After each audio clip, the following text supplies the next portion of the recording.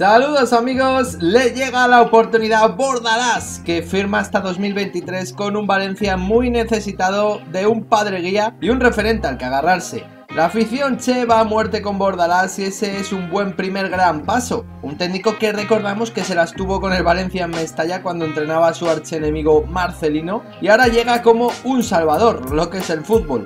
A mi modo de ver es el mejor entrenador que puede entrar en estos momentos porque ha demostrado en varios equipos que saca el máximo provecho de la plantilla que tiene. La mantiene enchufada para culminar los objetivos o al menos acercarse a ellos.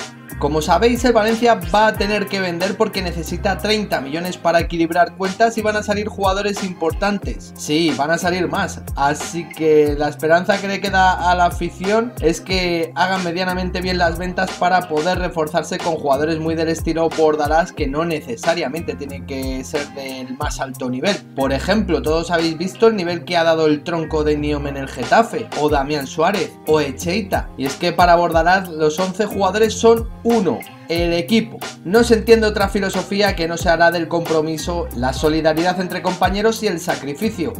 Como se puede ver en el gráfico, los azulenes son muy compactos, lo que les permite defender en números y tener más opciones de transiciones ofensivas. Los centrocampistas se adueñan de los rechaces, que cuando se ganan pueden llevar a abrir espacios para que los delanteros los aprovechen. La temporada que jugó en Europa el Getafe se manifestó el bordalismo en su máxima expresión. Por ejemplo, frente al Ajax se mostró a un equipo agresivo, de alta intensidad, intentando recuperar el balón, esperando el fallo del rival para contraatacar y pasando de un bloque alto en presión a un bloque medio bajo en el que el equipo ya se mostraba más junto a sabiendas que el resultado era bueno y que no podían mantener la misma intensidad y tono físico que al principio, pero mostrándose solidarios y sin mostrar huecos para dejar la portería a cero. Y esta es básicamente la filosofía de Bordalás a la que se puede agarrar el valencianismo. El equipo lo es todo y el que salga se va a exprimir por el bien del equipo.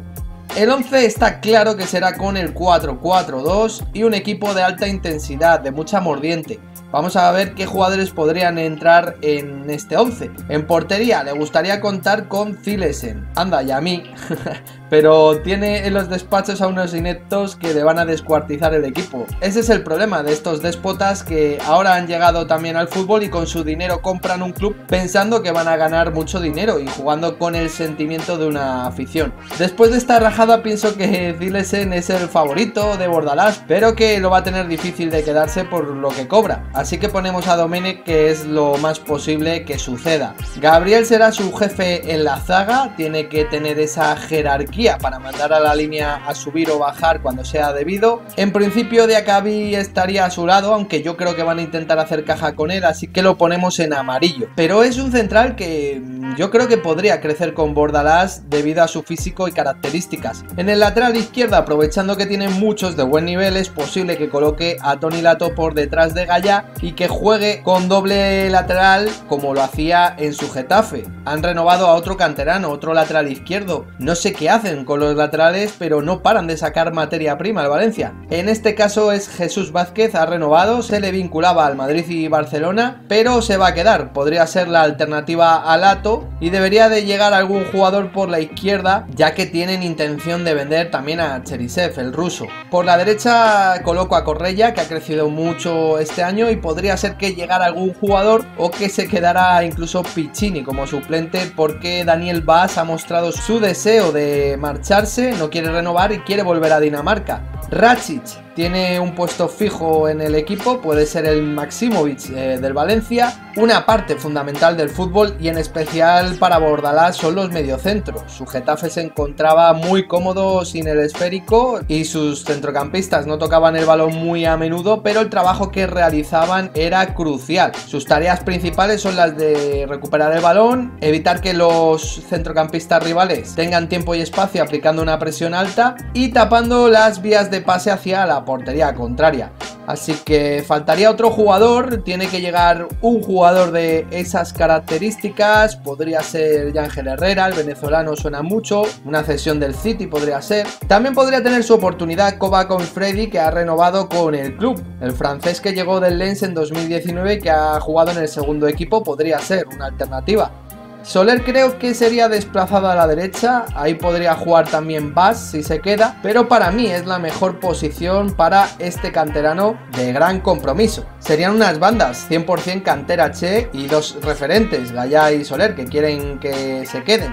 Arriba Guedes sería uno de sus delanteros, pero casi seguro que se va a marchar y llegará otro en su lugar. Uno de su estilo, que sea capaz de bajar a recibir, caer a cualquiera de las dos bandas o lanzar rápidas contras al espacio. Otra opción sería Vallejo, el canterano del Cádiz, que a mí particularmente me gusta, me parece interesante y creo que Bordalás le sacará partido. Como 9 Maxi sería el referencial, un delantero que fijaría más a los defensas, pero también en amarillo lo pongo porque se le intentará vender. ¿Quiénes suenan para reforzar el ataque Che? Pues Paquito Alcácer, lo que significaría su regreso. A mí me parece buenísimo, pero entre lesión y lesión no logra encontrar ese puntito de regularidad. Otro que suena Rafa Mir, que también es un ex del Valencia, que lo ha hecho muy bien en el Huesca. Y Uros Jurjevic, Yuka, que se ha salido en segunda con el Sporting y podría dar el salto a primera. A mí me parece incluso la mejor opción para este Valencia dado su rendimiento. Voy a soñar un poquito y voy a poner un teórico 11 con los fichajes y así quedaría el 11 con las inclusiones y las ventas. Nastasic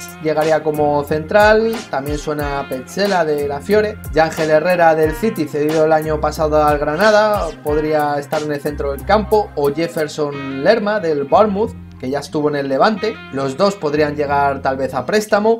Y arriba a ver qué jugadores llegan dependerá del dinero ahorrado por las ventas. Todavía quedan meses, pero Rafa Mir y Yuka son yo creo los objetivos y Vallejo podría estar también ahí como segundo delantero. Tal vez se fiche algún atacante más porque a Kangin Lee, a Cherisev y a Rubén Sobrino los van a intentar vender y con eso seguramente puedan plantear algún nombre. Yo os voy a dar uno personal, ya que no he podido hacer el que harías del Valencia, sugiero a Tony Martínez, también salido de la cantera del Valencia, que se marchó al West Ham y ha acabado en Portugal, pero es un delantero que lo conozco desde hace unos años y me parecería perfecto para este Valencia de Bordalás.